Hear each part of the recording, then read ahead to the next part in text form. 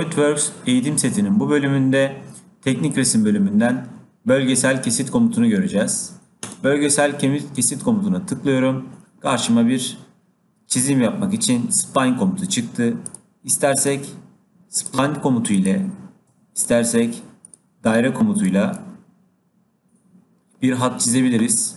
Çizdiğimiz hattı algılayıp 10 milimetrelik bir otomatik kesit görüntüsü değeri geldi.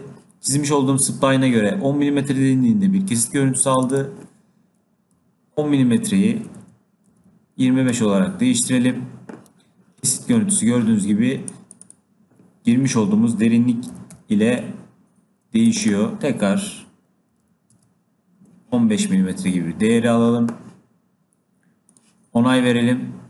Çizmiş olduğum spline hattını 15 mm kadar kesitini aldı ve var olan teknik resim görünümüne direkt olarak aktardı. Bu videomuzda bölgesel kesit komutunu gördük. Bir sonraki videomuzda görüşmek üzere.